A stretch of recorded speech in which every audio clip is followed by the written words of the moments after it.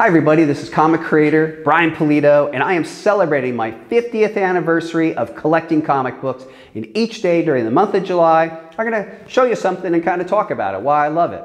Now this sounds kind of self-serving because I'm showing you the comic book cover of Evil Ernie number one, my own comic book, but as a comic book collector to one day graduate to comics professional is pretty damn awesome.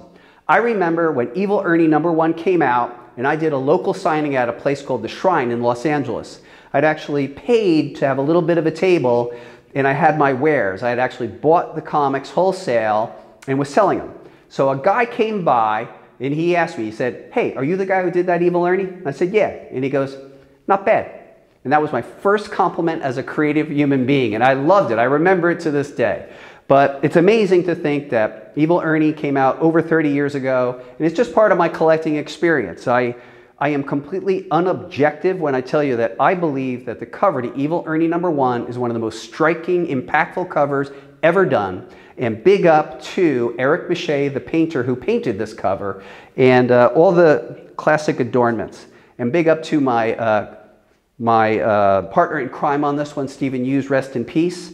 But this is part of my collecting journey, I suppose, becoming a professional. It's kind of funny to this day. If I'm not working on comic books, I'm organizing comic books. So like my, my whole world is comics and uh, just wanted to show you this one and make this part of what I'm showing you each and every day. So tune in tomorrow and see what I'm going to show you. Thank you so much, everybody.